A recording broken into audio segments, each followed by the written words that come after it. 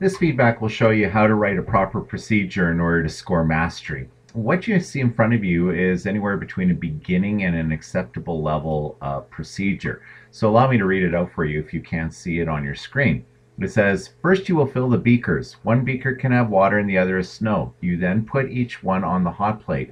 Every three minutes take a temperature. You will then write it down. Repeat for the other one. So there's many different problems with this procedure. First of all, it's not quite easy enough to read. Uh, remember, we said a procedure should always look like a cookbook. So when you're following a recipe, they normally number each step that you have to do.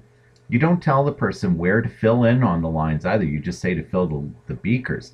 Is that only filled a quarter of the way or three quarters way or, or all the way up? We don't know by this procedure. They talk about recording every three minutes.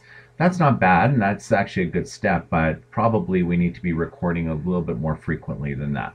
It says you will then write it down. How do we write it down? Do we put it into a chart? Do we write it down on our arms? Where do we actually put it? Okay. And then it says repeat for the other one. So that's almost laziness, right? You're assuming that the person knows exactly what they want to do there. Let's now look at a procedure that would be of the mastery level. First of all, right off the bat, you can clearly see the difference is that everything has been numbered in a nice orderly way. And because we're not writing long amounts, it's easy for somebody to follow. Remember that you should write at about a grade 4 reading level so that anybody can pick up your lab and be able to do the actual work with it. You'll also see that I get very specific and very detailed.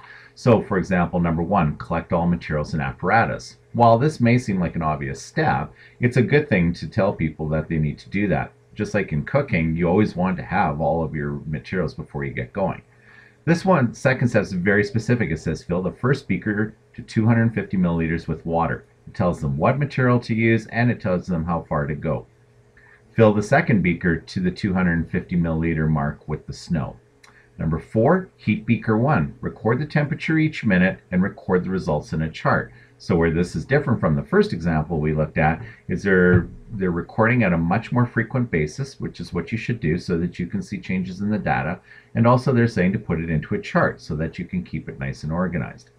Number five, continue this process for 10 minutes. So you're not leaving it up to the experimenter how long they want to do it because some people may choose to do it two times, some people may do it five times. So you're telling them at least 10 times will give them enough data that they can analyze it. Then number six, seven, eight, uh, again, repeat these steps, but again, repeat them in an order that it's easy for somebody to understand and be able to do.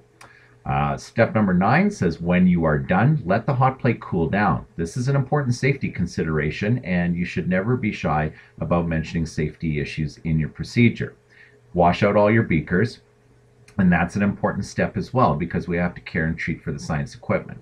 Finally, step 10, ensure that all your materials are away. So you can see, very easy to follow, very succinct, and tells the person that, hey, you know what this experiment's about and how to do it. And that is how you do a procedure.